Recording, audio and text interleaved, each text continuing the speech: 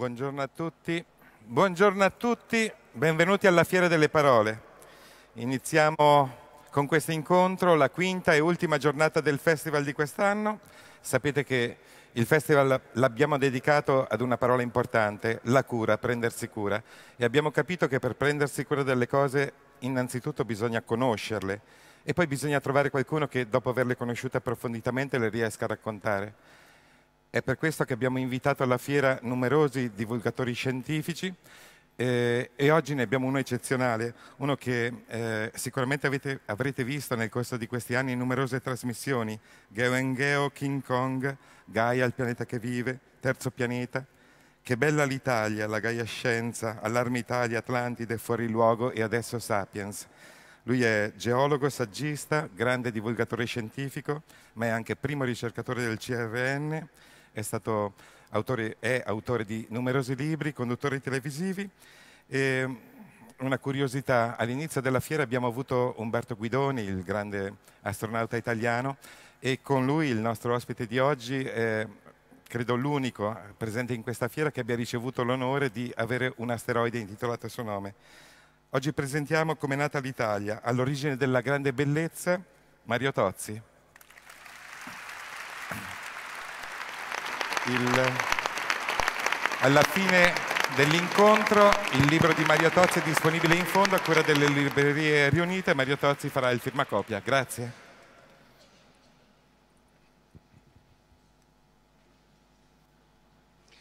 Allora, buongiorno, ci occuperemo anche di cura, sì, un po' lo facciamo. Eh, prima volevo eh, spiegare perché nasceva questo libro. Mm, naturalmente io non sono uno storico, dunque ne so veramente molto poco di dinamiche umane di quanto conta, la, la, per esempio secondo alcuni storici vicini all'aspetto eh, geografico conta molto appunto la, la volontà dell'uomo, il suo potere decisionale nei fatti storici, questo io non, non, sono in grado di indagarlo. Però quello che mi sono domandato è se è possibile indagare invece l'aspetto fisico che condiziona le dinamiche storiche, dunque in particolare se si possa dire che alcuni fenomeni storici generali sono indirizzati, determinati, influenzati da qual è la storia del territorio su cui ti trovi. Insomma, avremmo avuto Padova in questo modo se fosse stata da un'altra parte o se avesse avuto un altro territorio. Roma sarebbe stata costruita in quel modo se avesse avuto rocce diverse. Il barocco leccese sarebbe stato così se ci fossero stati altri tipi di, di rocce e se l'Italia non si fosse trovata fra l'Africa e l'Europa, due grandi placche geologiche, avremmo avuto gli stessi italiani? Ecco, la domanda è un po' ambiziosa, naturalmente non, non c'è nemmeno una risposta, però ci sono tante altre domande che diciamo, sono un affinamento delle prime domande. Eh, però la cosa con cui voglio partire è vedere quanto possono contare questi fatti alcuni, questi fatti fisici su alcuni fatti storici. Quello che mi ha più divertito e che ho condiviso anche con tanti colleghi di lavoro e amici negli anni è quello del congresso di Vienna.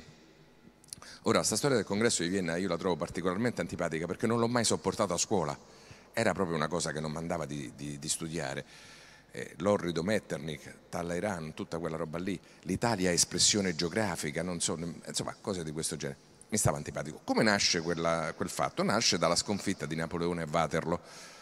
Waterloo è una località del Belgio.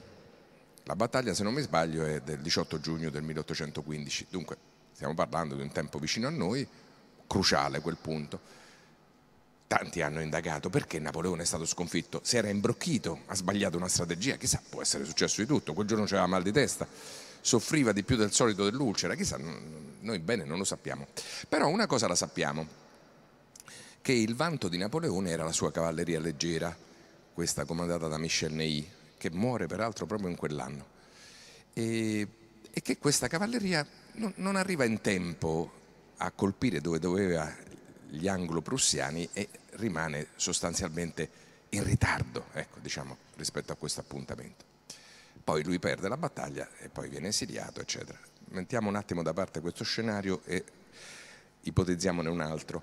Nello stesso anno, nel 1815, eh, le condizioni meteorologiche sono piuttosto brutte su tutto il pianeta Terra, un po' inspiegabilmente, tanto che nel 1816 il presidente statunitense, statunitense Jefferson, che era una specie di scienziato, aveva la fissa della meteorologia, annota nei suoi diari che sono stati ritrovati tutti i giorni le temperature e le piogge e alla fine sostanzialmente scopre che il 1816 è stato un anno privo della stagione estiva. Non è mai arrivata.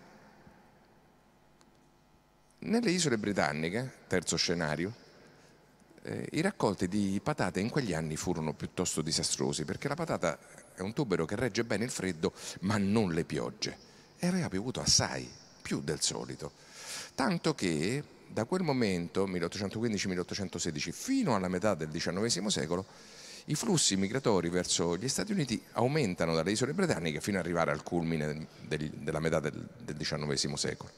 Vanno via, non riescono a stare lì. Eh, sempre in Inghilterra, ma per, per la verità pure in Francia, sempre nel 1816, quarto scenario, mancavano i cavalli, nel senso che se li mangiavano. Nei posti dove faceva più freddo ed erano partite queste carestie e pioveva, si, si stentava a, a, far campare le bestie e soprattutto i cavalli. E dunque mh, qualcuno ebbe l'idea di mettere un, una specie di mh, trave tra due ruote e farle muovere con il movimento dei piedi. I pedali non li aveva inventati, ma la bicicletta c'era.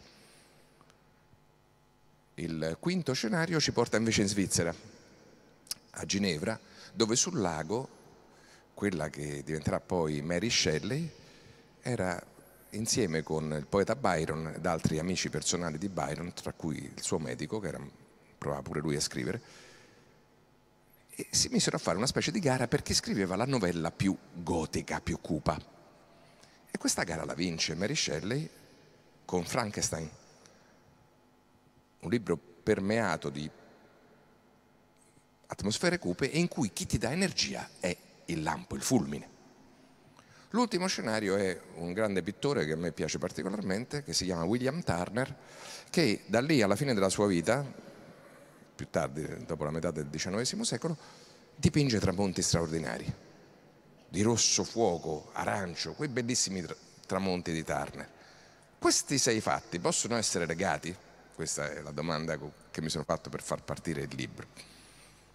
Secondo, secondo noi, secondo me, potrei dire in questo caso, ma insomma in realtà è una discussione che fanno tanti geologi da tanto tempo, sì.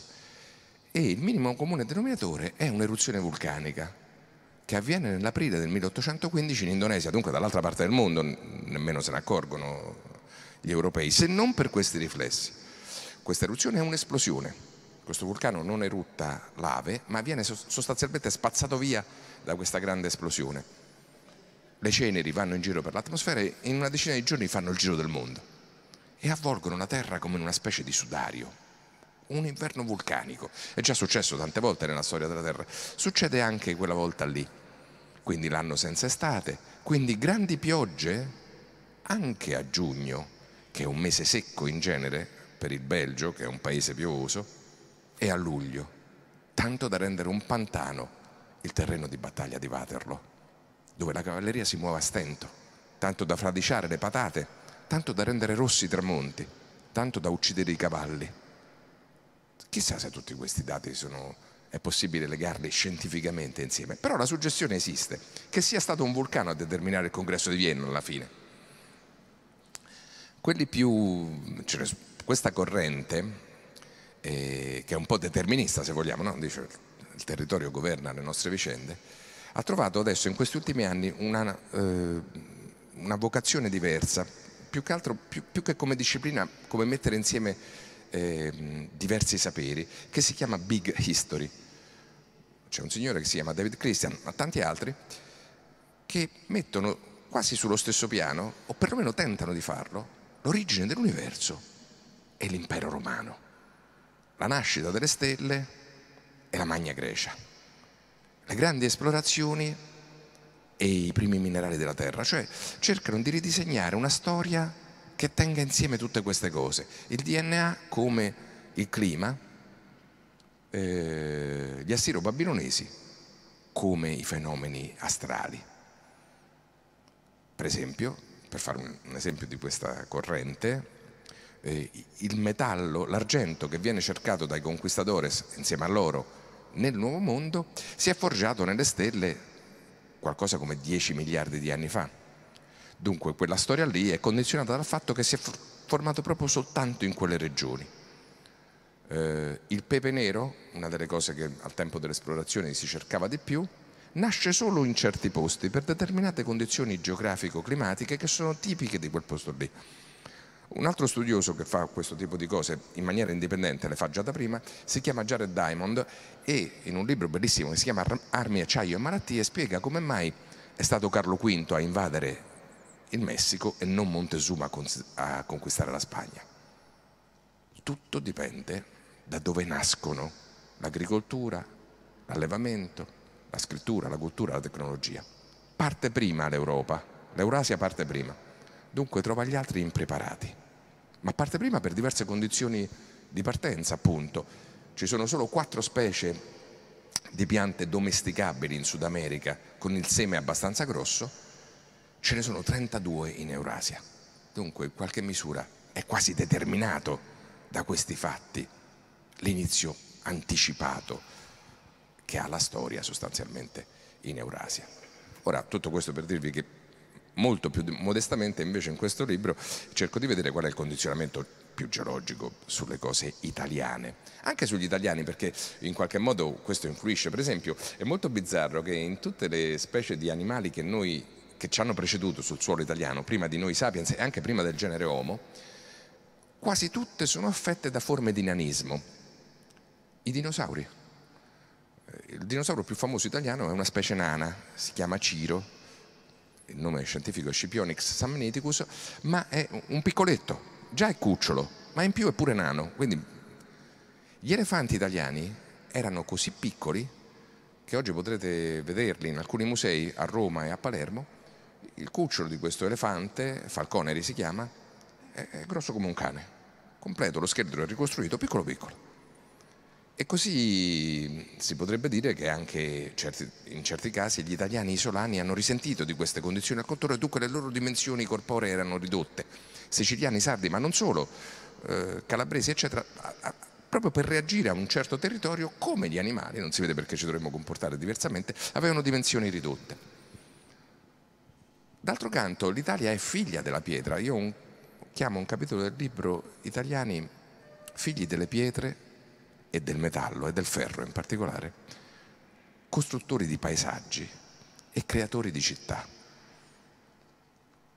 Il nome stesso Italia deriva da come veniva chiamata l'isola d'Elba, Italia, e cioè la fuliginosa, perché lì da sempre fondevano il ferro, cioè bruciavano catastre di legname per fondere il ferro. Questi fumi erano i fumi in cui noi ci siamo forgiati di fatto nelle piccole isole italiane, veramente pure nelle grandi, diciamo Sardegna, Sicilia e tutto l'arcipelago toscano, tutto facevano gli abitanti di quelle isole fuorché i pescatori, facevano gli agricoltori e i minatori. Hanno fatto i minatori fino agli anni 70, tutti. Il bacino del Sulcis Iglesiente era il bacino minerario più importante insieme alla Ruhr in Europa.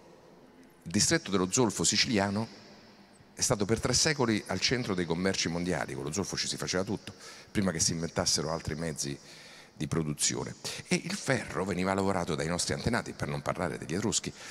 E quindi noi abbiamo un po' questa radice molto legata alla terra, che vediamo anche nelle città. Prendete Napoli. Napoli è sostanzialmente fatta tutta con il tufo giallo, che è il residuo di una grande eruzione dei Campi Flegrei, il vulcano più grosso che abbiamo, il nostro supervulcano. Questa eruzione di alcune decine di migliaia di anni fa che ha avuto varie fasi fino a 12.000 anni fa, ha fornito una grande quantità di ceneri che una volta compattate sono diventati questi tufi gialli, con cui è costruita quasi tutta la città. E le strade di Napoli sono lastricate da mh, mm, basoli neri della lava del Vesuvio. Più figlia di così non sarebbe stata nemmeno quella. Non avrebbero potuto i greci eh, di, della Partenope creare le loro cisterne, i loro condotti sotterranei se non ci fosse stato quel tufo lì, se fosse stata una roccia più dura da scavare. E così pure non avrebbe potuto offrire albergo tutta quella rete di, cav- di cavità sotterranee di Napoli fino alla seconda guerra mondiale, per non parlare degli usi che ne hanno fatto prima, se non fosse stata fatta in quel modo. E, ehm, Roma, Roma è figlia di un tufo diverso, infatti la gran parte della città è costruita effettivamente con mattoni di tufo, però è scuro, è rosso, si chiama tufo rosso scorie nere, e poi rivestita di travertino, prima che arrivino i marmi dalla Lunigiana o dalle isole greche o da altri posti. Dunque è veramente figlia dei vulcani che a Roma, a Roma ce n'ha due davanti, uno a sud e uno a nord, che hanno condizionato la storia. Anzi, se ci pensiamo bene, Roma un milione di anni fa naturalmente non, non c'era e non c'erano nemmeno quei vulcani che stavano per eruttare, fuori dalle acque venivano fuori solo gli Appennini. E a un certo punto eruttano questi vulcani, già dagli Appennini scendevano i primi fiumi, un vecchio Tevere già c'era, ma trova un vulcano sulla sua strada, altrimenti il Tevere sarebbe sfociato ad Anzio. Invece trova un vulcano che cresce, fa un gomito e va a finire a Ostia. In quel gomito nasce Roma. Quindi il condizionamento è forte degli elementi geologici e fisici su quella che è poi la storia dei, degli italiani, direi in generale. Stavo, avevo citato all'inizio il barocco leccese perché non avremmo quel barocco lì se non ci fosse quella roccia particolare che è un'antica spiaggia così cariabile che si viene mangiata dal tempo, infatti lo vedete spesso intonacato il barocco leccese, poi ha delle cavità, si vedono uscire fuori le conchiglie quasi dappertutto e se non quella roccia così dorata avesse rimandato indietro dei colori del tramonto straordinari. È proprio la luce che prende un gioco diverso in quel barocco che dunque in qualche misura è più magico per questa ragione qui. Naturalmente sulle città io le tratto estesamente, questo discorso può essere fatto in molte, in molte maniere. Un'altra cosa particolare è a Roma il colonnato di San Pietro, non però diciamo, il colonnato esterno di Bernini, quello eh, che sta dentro.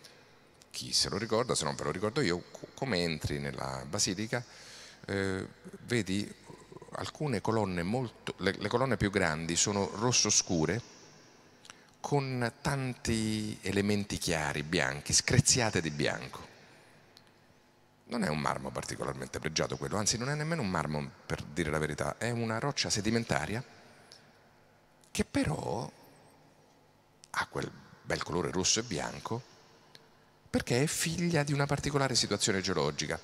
Infatti, quando si costruivano e si abbelliva San Pietro, non c'erano più tanti denari a disposizione e la, mm, la ricerca di questi marmi pregiati non poteva essere più neanche lunigiana, neanche fuori dall'Italia, ma avevano scelto un raggio di una sessantina di chilometri dalla capitale, gli ingegneri e gli architetti, per reperire questo materiale.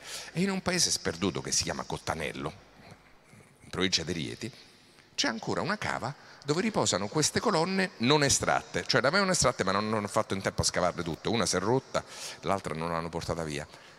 Questa cava sta proprio lungo una grande spaccatura enorme dell'Italia centrale che è una faglia. Questa faglia, quando si è messa in movimento, oltre ad aver generato terremoti, ha tirato su dal profondo delle acque ricche di calcite. Quindi quel bianco che c'è all'interno di quella roccia rossa è questa calcite che è salita su più stai vicino alla faglia, più c'è calcite, dunque più la colonna è bella. E infatti hanno scelto queste qui, le più belle, per ornare San Pietro. Ma poi hanno continuato a fare chiese, per esempio a Sant'Agnese in Agone, sempre a Roma, si vedono le stesse rocce di quella mm, cava lì, ma non sono più quelle bianche, quelle erano finite, cioè la parte più vicina alla faglia era esaurita. Dunque sono meno screziate. Via via che passava il tempo, ricavavi materiale che era meno pregiato, tutto figlio di una spaccatura nel terreno. Allora, questo tipo di suggestioni sono, come posso dire, il contenitore in cui poi si è agitata la storia degli uomini. La, la, secondo me l'ha condizionata in maniera molto precisa. Alcune società italiane sono state metallurgiche sempre, per esempio i sardi, per esempio gli etruschi ma per esempio anche i medici hanno portato questa sapienza metallurgica fino sostanzialmente quasi a esaurire le colline metallifere e tutti i giacimenti che ci sono in Toscana. Dunque, per non parlare appunto della civiltà dello zolfo che dicevo prima, in Sicilia c'era addirittura il padre di Sciascia, lavorava nelle miniere di zolfo, lui ricorda sempre di aver respirato quell'aria lì, Pirandello stesso, tutti quelli che hanno scritto lo zolfo, Camilleri compreso, la civiltà dello surfaro, erano legati a quel, quel distretto tra Caltanissetta, Enna, Agrigento che produceva per quasi 300 anni più zolfo che in qualsiasi altra parte del mondo. Era, c'erano proprio i matrimoni dello zolfo, si sposavano i minatori tra loro.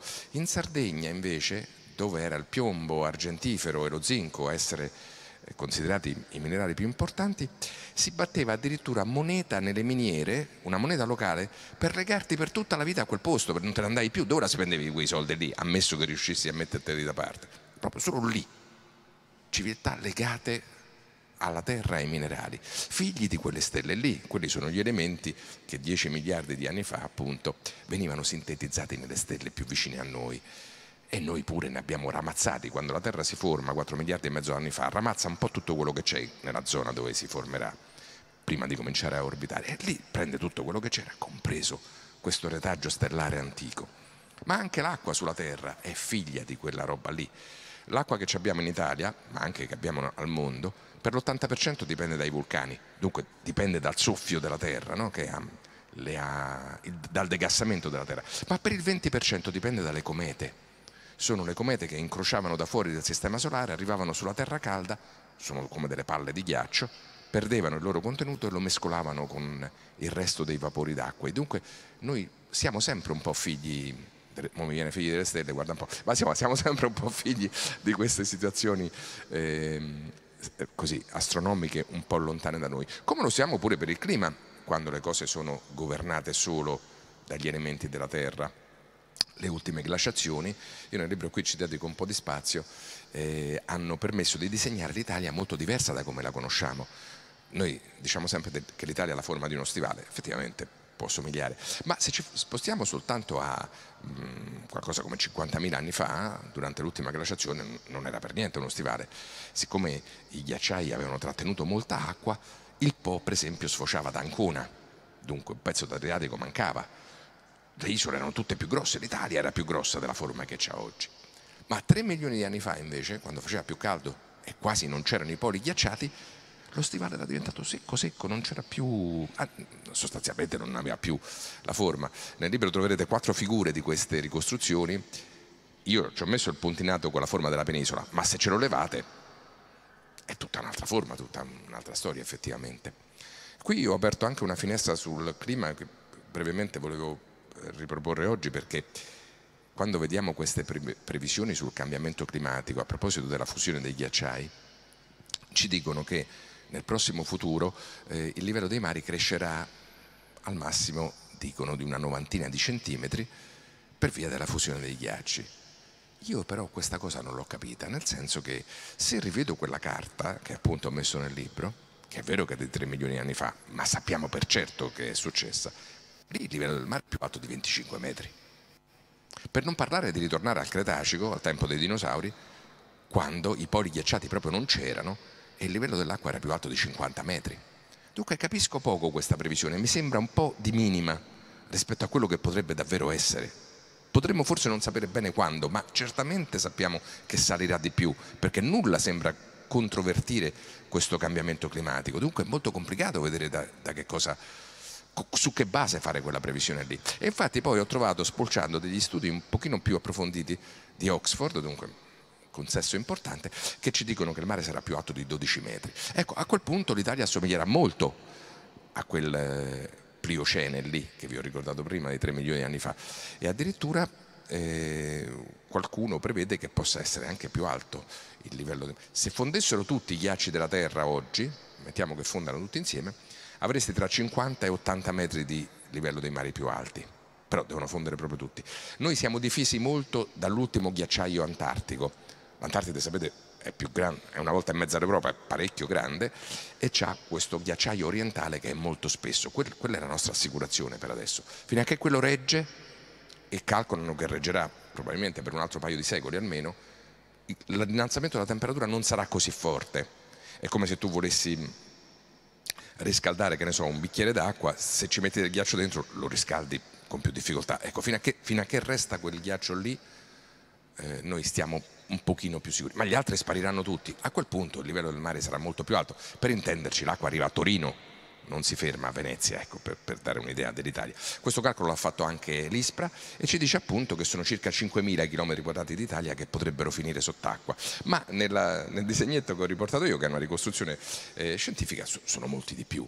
Eh, volevo chiudere sul cambiamento climatico perché mi interessa proprio dirlo, ormai lo dico in ogni consesso, io nel libro lo tratto perché naturalmente l'Italia si trova nella zona di passaggio fra l'Africa e l'Europa, dunque da questo punto di vista è più sensibile a questi cambiamenti, dunque la parte meridionale rischia di essere desertificata, quella settentrionale è tropicalizzata, quindi stiamo proprio in quel punto lì.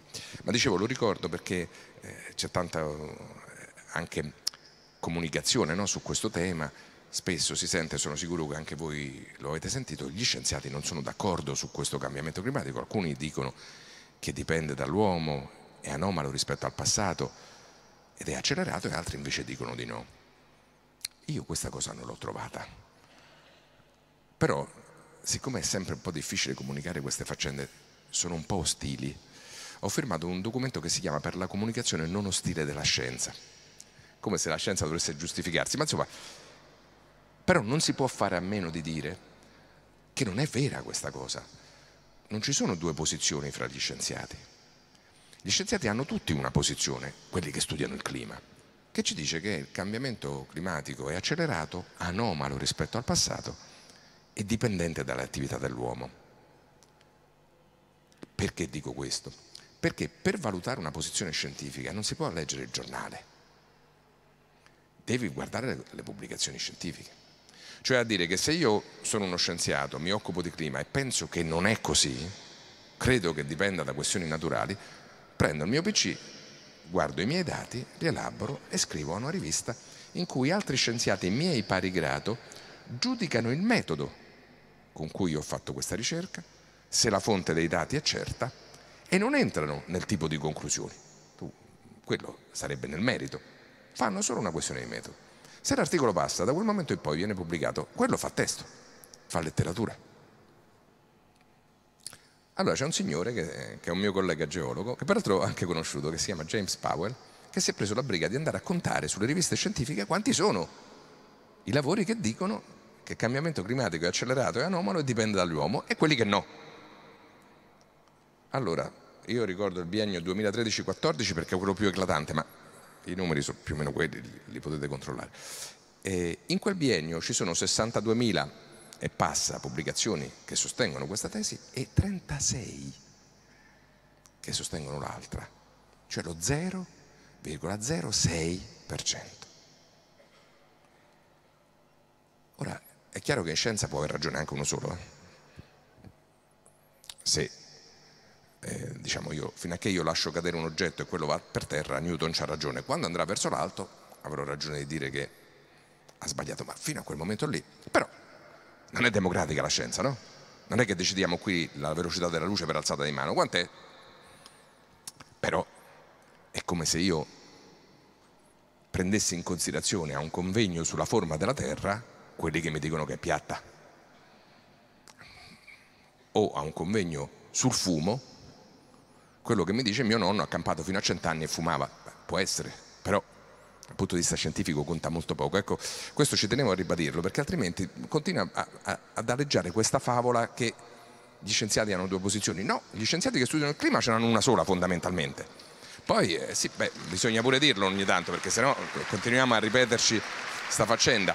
Poi naturalmente quello che è bizzarro, che vi dà la controprova che le cose che sto dicendo, diciamo, a parte che potete controllare da soli, è che questi che parlano, i cosiddetti negazionisti, intanto non sono quasi mai scienziati del clima, perché il clima lo studiano i fisici dell'atmosfera e i geologi, geologi per i paleoclimi e i fisici dell'atmosfera per i meccanismi.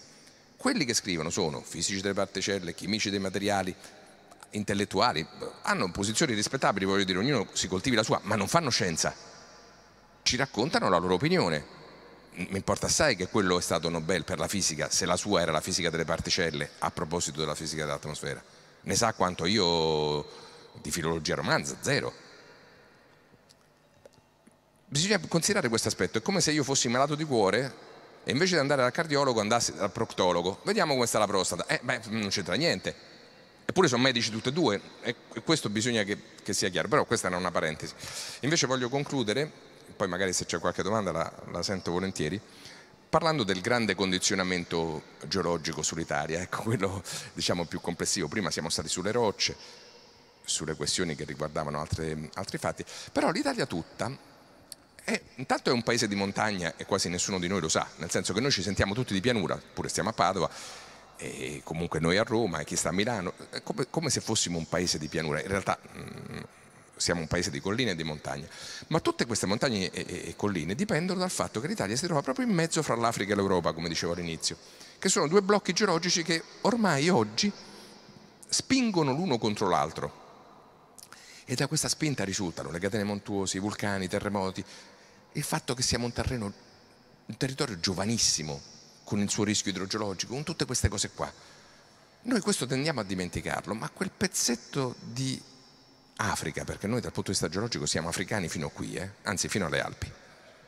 L'unico pezzo di, d'Italia che non è Africa è la Sardegna, perché quella stava attaccata all'Europa, c'è tutta un'altra storia, è infatti anche il territorio più antico e con meno rischi naturali. Ma tutto resto, siamo, per tutto il resto noi siamo africani. Ecco, che questo pezzetto di, di, crosta africana che qualcuno ha chiamato Adria, una piccola placca in mezzo fra queste due, abbia condizionato la nostra storia più antica eh, nei fatti della geologia, ma un po' ci ha condizionato anche dopo perché abbiamo appunto un paese con tutti questi rischi, con tutte queste montagne, con tutti questi aspetti, con tutte queste rocce tutti figli di quella roba lì, di questo grande scontro epico. Ma prima di questo scontro l'Italia nemmeno esisteva, altro che espressione geografica, era il fondo di un mare, un vecchio oceano che si chiamava Tetide, come la madre di Achille, e che eh, occupava tutta la zona dove c'era l'Italia. Immaginiamo che l'Italia di quel tempo era tutta sott'acqua, c'erano delle isole, addirittura c'erano dei pezzi di continenti, perché si è scoperto proprio ultimamente che l'Italia è una terra di dinosauri. Per esempio in Puglia c'è un sito che ha qualcosa come 25.000 impronte di dinosauri, dunque non poteva essere un'isola, doveva essere, quelli sono animali pesanti, hanno bisogno di mangiare assai, quindi stiamo un po' cambiando le nostre idee, ma insomma fondamentalmente era sott'acqua tranne questi pezzi dove andavano in giro questi dinosauri i dinosauri pugliesi che sono ormai si ritrovano dappertutto. Pensa che a, a, a, forza di pensarci, una volta che sono state scoperte queste impronte, anche in altri luoghi li hanno cominciato a trovare. Per esempio ad Altamura, questo struscio che vi raccontavo prima di dinosauri, c'è solo erbivori. A Molfetta ci sono solo carnivori. Nei blocchi del porto di Bari che uno magari va lì per, per, farsi una passeggiata, si vedono impronte di altri dinosauri, è proprio una terra frequentatissima da dinosauri, ma anche qui ci sono, eh? ai Lavini di Marco, a Trento, in altre zone, insomma passeggiate di dinosauri ce ne abbiamo parecchie, purtroppo dove passeggiano non si conserva lo scheletro, quindi abbiamo solo le impronte. E ricostruire un dinosauro dalle impronte è una scienza molto particolare, si chiama icnologia, c'ha però un aspetto mh, importante che mentre dallo scheletro tu riconosci la, la come posso dire, l'anatomia, anche un po' la fisiologia, le patologie, dalle impronte riconosci, cristallizzano un gesto di un movimento in vita, dunque ti dice qualcosa di più, se, se ci si pensa bene, come camminavano, come scodavano, come appoggiavano le zampe, come in qualche caso si accoppiavano, è, è veramente una scienza molto feconda. Ma dicevo, tutto questa, eh, questo arcaico ricordo che abbiamo dell'Italia primordiale era un ricordo, di, di, di, un ricordo sottomarino poi a un certo punto sono cominciate a venire fuori isole e atolli, come le Dolomiti. Sapete tutti che lì si trovano rocce di, di mare, insomma in montagna, sono anzi il posto più classico per studiarle. E noi questa impronta un po' ce la portiamo eh, dietro. Noi siamo nati in un posto geologicamente eh, che era come le Bahamas, come, sì, come le Everglades, anzi forse meglio nella zona dove stavano i dinosauri, un posto tropicale, di gran caldo e di grandi acque. Qui vicino a Bolca c'è una pesciaia molto famosa, un giacimento di pesci fossili, uno dei forse più importanti del mondo, in cui si vede che noi eravamo quegli animali lì, non c'erano altri italiani che quelli, dentici, squali, eh, anguille elettriche, c'era di tutto, insomma, un posto bellissimo, con le palme ritrovate lì, conservate nel museo di Verona, dunque un posto tropicale, un'altra Italia, che però appunto non aveva ancora la forma. Eh, questo ci ha fatto diversi? Analizzando, e nel libro lo faccio, le ultime due cose che vi dico, gli uomini, noi abbiamo il Neanderthal più antico, più arcaico, meglio conservato, più completo d'Europa. Tanto da far pensare che l'addizione Neanderthal, quello viene da una valle tedesca, eh, debba essere cambiato perché ad Altamura, sempre ad Altamura, si trova questo uomo che hanno chiamato Ciccillo e che è, mm, no, eh, vabbè, so perché abbiamo questa mania, è, è, è, è tutto completo, raggrumato come un pipistrello dentro una grotta profondissima ed è, ed è, un nostro antenato diciamo sicuro del momento in cui Neanderthal qua ce n'erano parecchi. Poi ci sono i sapiens più arcaici da noi, per esempio sempre in Puglia hanno trovato dei molari di sapiens di 50.000 anni, è difficile andare un po' più indietro. E, e poi ci sono le grotte dipinte, sempre in Puglia, di, qui siamo però già nei sapiens, che sono meravigliose. In una di queste grotte, figlia di quei materiali, per, per quegli uomini che dipingevano le grotte era importante la parete.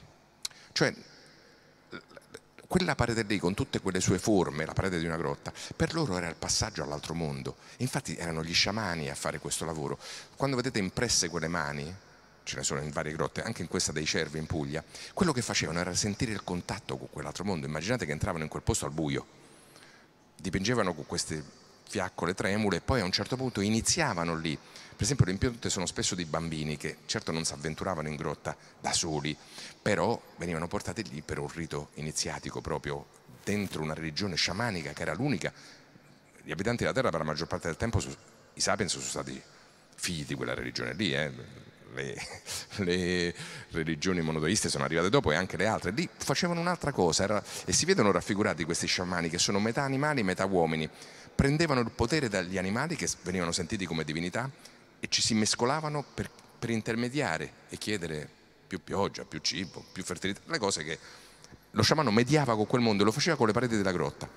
In questa grotta dei cervi c'è anche un famoso sciamano danzante, che alcuni chiamano Dio danzante, che faceva, veniva, non sapevano come dargli il movimento, quindi gli hanno messo più gambe e più braccia per farlo sembrare alla luce della fiaccola qualcosa che si muovesse, ma degli artisti straordinari. Ecco, noi, noi abbiamo un po' tutte queste eredità, siamo stati creatori di grande bellezza, ma pure di grande bruttezza per la verità. Oggi le nostre periferie sono a Roma per vedere le cose belle devi andare bendato dall'aeroporto fino al centro perché è bene che tu non, non veda quello che c'è, ma quasi tutte le periferie italiane.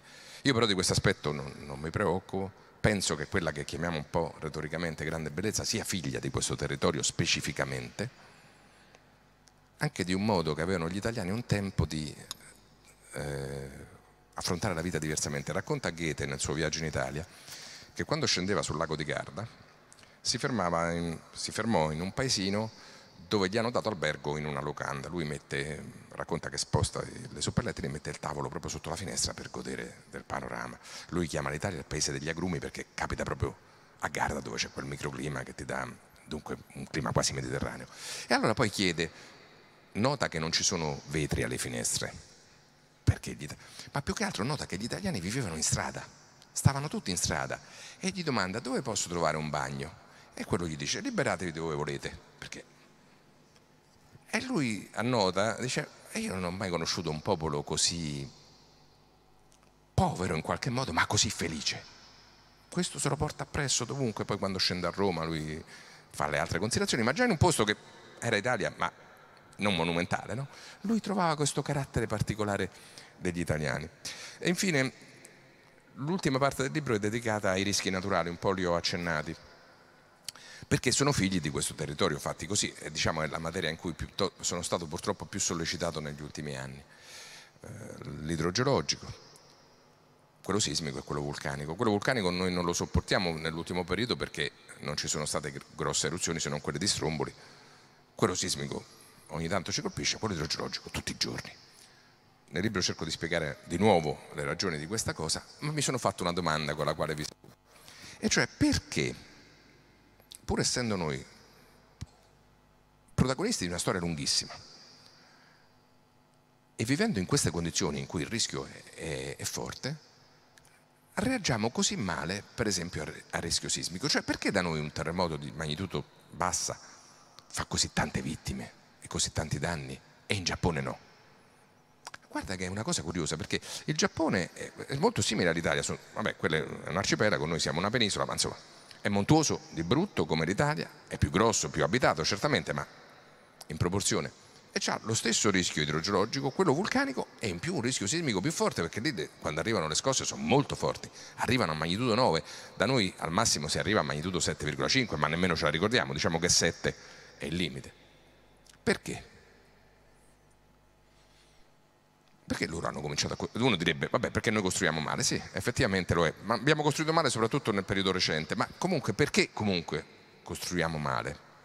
Perché effettivamente i giapponesi hanno fatto dal VI secolo, quando cominciano a registrare bene questi terremoti, li hanno inclusi in una mitografia molto particolare.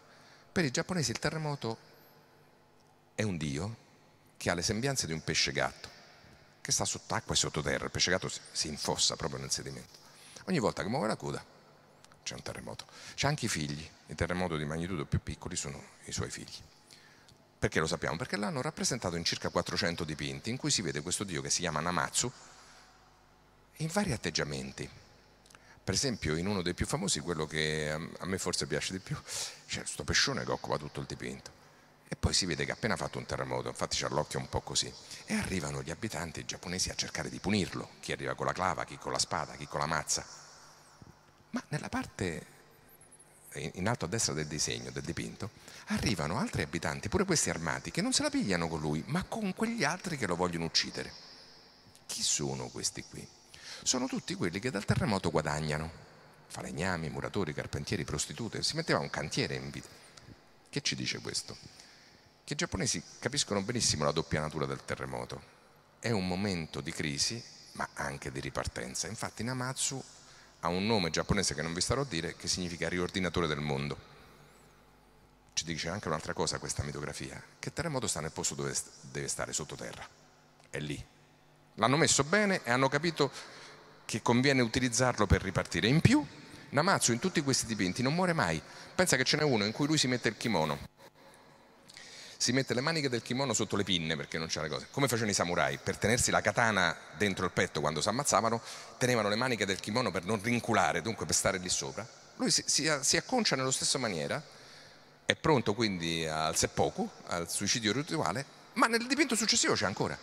Cioè sta sempre vicino per essere sconfitto, ma non muore mai. Non muore mai, c'è sempre, sta sottoterra ed è occasione di riorganizzazione del mondo. Come rappresentiamo noi il terremoto? E anche i vulcani per la verità.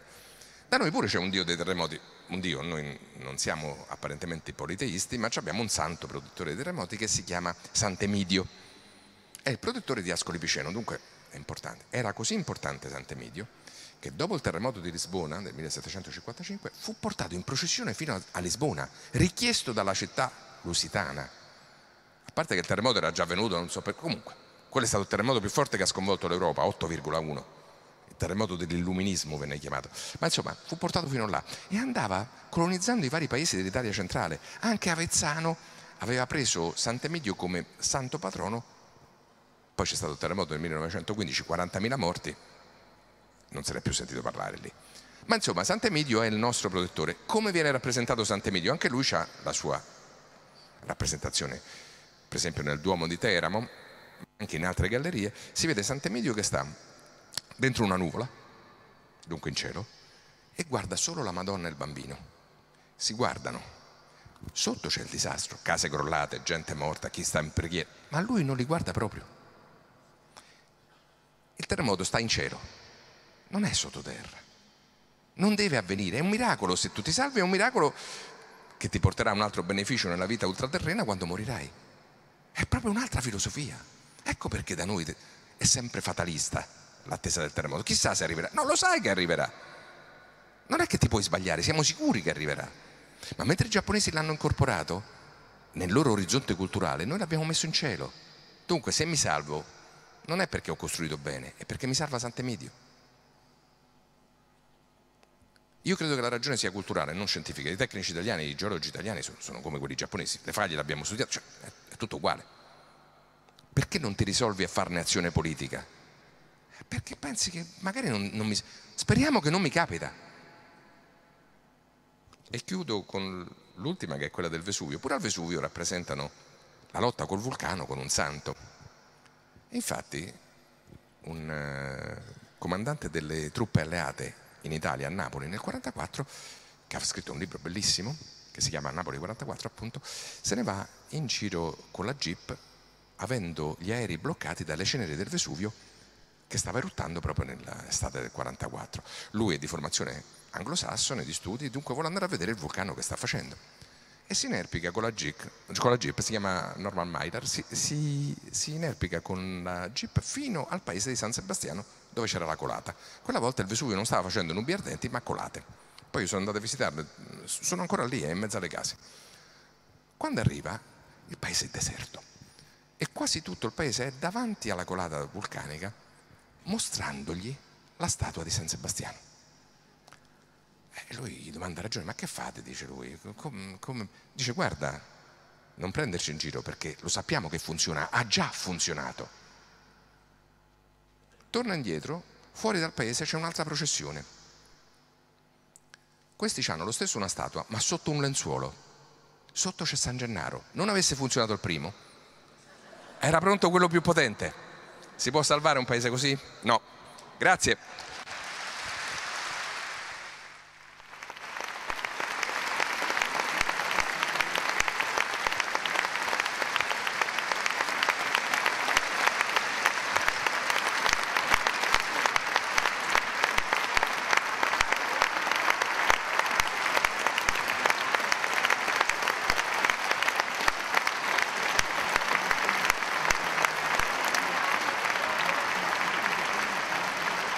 Grazie. Eh, rimango a disposizione se c'è qualche domanda. Ho sbagliato Norman Lewis, si chiamava, scusatemi, mi è partito Myler. Non so perché Norman Lewis era l'autore di Napoli 44 per Adelphi. Se, se, qualcuno vuole farmi qualche domanda ci sono e poi eh, ci vediamo invece se no lì alle firme.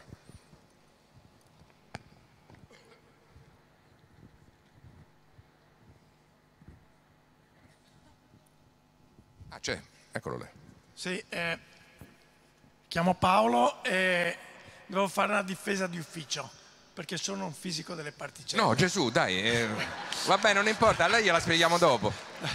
No, è una difesa scherzosa perché penso che a parte uno che conosciamo e non voglio nominare, piuttosto anziano, la maggior parte, anzi credo la quasi totalità di fisiche particelle, come tutti gli scienziati, valutando i, i misure e interpretazioni teoriche, sono convintissimi che quello che sta succedendo è un fenomeno a causa non solo umana, ma a causa, cioè ha conseguenze possibili terribilmente preoccupanti. Quindi diciamo non c'è una guerra fra scienziati, c'è qualche scienziato che per interesse suo eh, sta cavalcando altri, altri, temi o altre cose. Sì, e naturalmente è un po' esagerato per, per, per, per non stare proprio a specificare sempre. Grazie comunque, fa piacere.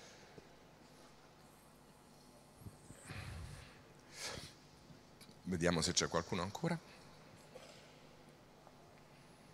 Sì, naturalmente questo nel libro viene trattato un po' di, di, tangenzialmente perché riguarda i cambiamenti climatici del passato nella nostra penisola. Va bene, allora vi saluto ancora e ci vediamo lì giù. Grazie.